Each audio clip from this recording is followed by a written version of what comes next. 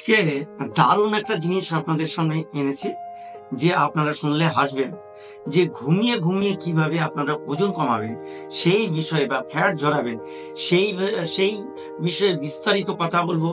আমি doctor Abdul Salam Biswas lifestyle modifier and naturopathic coach তো বিস্তারিত আপনারা শুনতে থাকুন, যে এই ঘুমিয়ে ঘুমিয়েও কীভাবে ফ্যাট ঝাড়ানো যায়, সেই বিষয়ে বিস্তারিত আজকে আলোচনা করি যখন আমরা ঘুমাই, তখন কি হয়?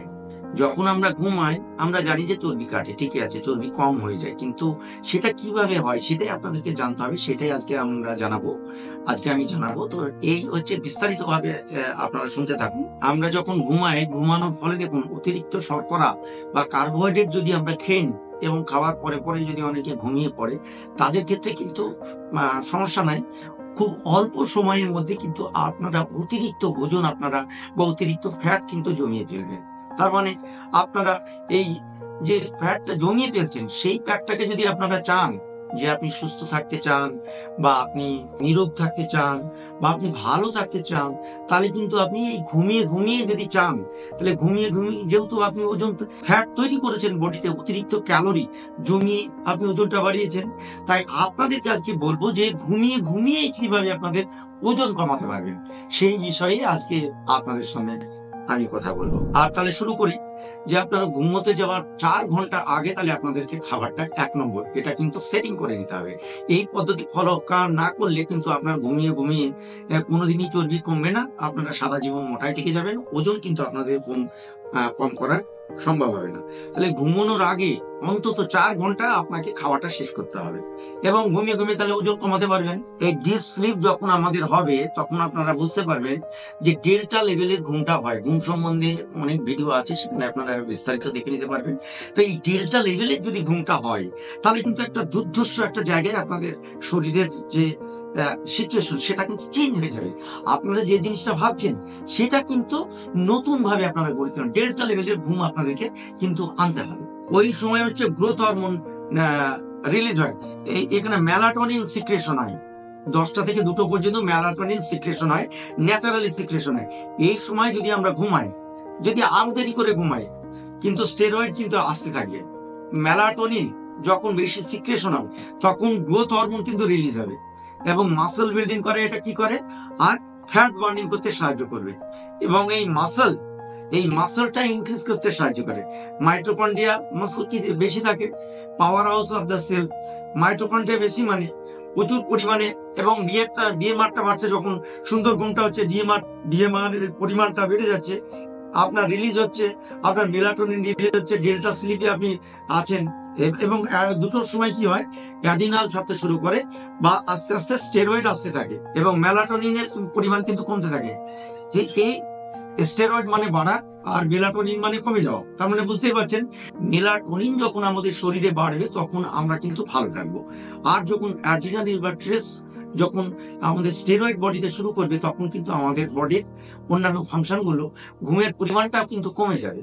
ঘুম থেকে উঠবে স্টেরয়েড ধীরে ধীরে বাড়তে থাকবে। ছটা সাতটার দিকে স্টেরয়েডের পরিমাণ কিন্তু ন্যাচারালি বেশি থাকে। সেই স্টেরয়েড কিন্তু শরীরের জন্য খারাপ নয়। এবং কি পরিমাণে রিলিজ হলে ভালো?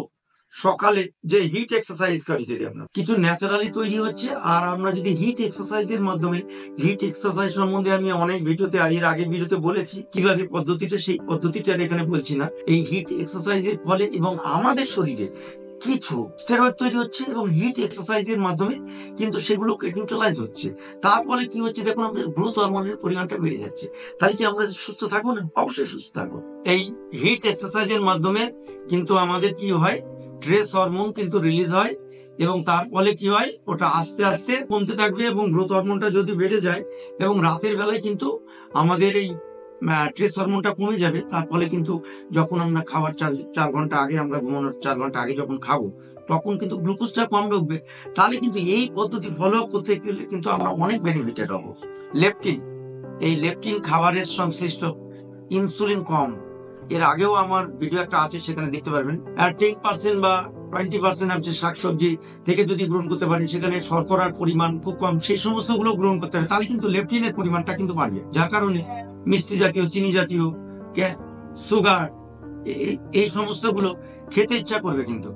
চাইলেও কিন্তু রেজিস্ট করতে পারবে না, কিন্তু প্যারাসিম্পেথেটিক যে নার্ভাস সিস্টেম সেটা আমাদের শরীরের পক্ষে অনেকটাই ভালো।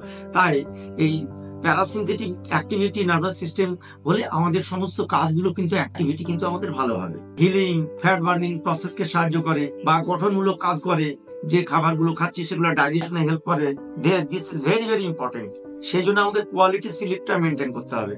ঘুমিয়ে ঘুমিয়ে আমরা চর্বি কমাতে পারি।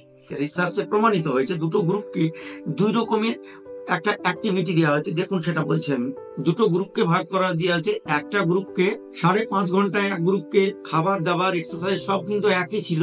শুধু তিন ঘণ্টা তাদের কম ঘুমাতে দেওয়া হয়েছিল। আর আর একটা গ্রুপকে কি করা হয়েছিল? এটাও শিকাগোতে, আমেরিকার ওখানেই করা হয়েছিল যে আর একটা গ্রুপকে করা হয়েছিল কি, পাঁচ ঘণ্টা বেশি ঘুমাতে দেওয়া হয়েছিল। তাহলে এই দুটো গ্রুপ, আপনি শুনলে অবাক হবেন, এই রিসার্চ ফল থেকে আপনি কি শিখতে পারবেন? দেখুন, যারা খাবার দাবার এক্সারসাইজ টোটালি কিন্তু এক সেম যা যা আমরা পদ্ধতি যেটা বলি, সমস্ত পদ্ধতি কিন্তু মেনটেন করেছে। তাদের ফিফটি ফাইভ পার্সেন্ট তাদের fifty five percent fat burning বেশি হয়েছে, যারা হিট এক্সারসাইজ করেছে। তাদের ক্ষেত্রে কোয়ালিটি স্লিপ লং আর ডিউরেশন গ্রোথ হরমোন রিলিজ হয়েছে, অনেক বেশি রিলিজ হয়েছে। সবচেয়ে মজার বিষয় হলো twenty five percent blood pressure কমে গেছে। তার মানে মানে আপনি বুঝতে পারছেন যে ব্লাড প্রেশার আমরা ভাবতে পারি যে ব্লাড প্রেশার ওষুধ দিয়ে কমাতে হয়। এখানে ঘুমানোর মাধ্যমে ব্লাড প্রেশার কমে যাচ্ছে। একটা অদ্ভুত ধারণা না? আপনারা অনেকেই জেনে অবাক হবেন যে ঘুমিয়ে ঘুমিয়ে প্রেশারও কমানো কমানো যাচ্ছে, আবার ঘুমিয়ে ঘুমিয়ে ফ্যাটও কমানো যাচ্ছে। তাহলে এই যে দুটো গ্রুপ তিন ঘণ্টা বেশি ঘুমাচ্ছে, তার মানে ফ্যাট রিলিজ ফ্যাট বার্ন হচ্ছে বেশি এবং উচ্চ রক্তচাপ বা প্রেশার মানে উচ্চ রক্তচাপটাও কমে যাচ্ছে। অর্থাৎ তাদের মানে থার্টি পার্সেন্ট প্রেশার কিন্তু কমে যাচ্ছে। তার মানে তাদের অনেকটা প্রেশার কমে যাচ্ছে এবং যারা এই পাঁচ ঘণ্টা ঘুমাচ্ছে তাদের প্রেশারও কমছে না। আবার ফ্যাটও বাড়নি তুলনামূলক ভাবে খুবই লিটিল হচ্ছে না বললেই চলে। তার মানে এখানে বুঝতেই পারছেন যে দুটো এক্সারসাইজ থেকে একদম এই দুটো এক্সারসাইজ থেকে ব্লাড প্রেশার কমে গেল এবং চর্বি কমে গেল। নানাবিধ সমস্যা তৈরি হয়। এবার সেজন্য কোয়ালিটি সিলিপ এবং মেলাটোনিন সেই জন্য মেলাটোনিন খুব গুরুত্বপূর্ণ, বায়োলজিক্যালি খুব ইম্পর্টেন্ট আছে। সেই জন্য আমাদের আর্লি ঘুমাতে যাওয়া দরকার এবং ঘুমটা চার ঘণ্টা বেশি যদি করতে পারি, খুব সহজে কিন্তু আমাদের মেলাটোনিন সিক্রেশন হবে এবং তার ফলে কিন্তু ধীরে ধীরে আমাদের হরমোনটাও বেড়ে যাবে। এবং একটা জিনিস বলব যে আপনারা এমন জায়গাতে ঘুম- ঘুমাবেন যাদের যারা খড়ের বাড়িতে ঘুমান।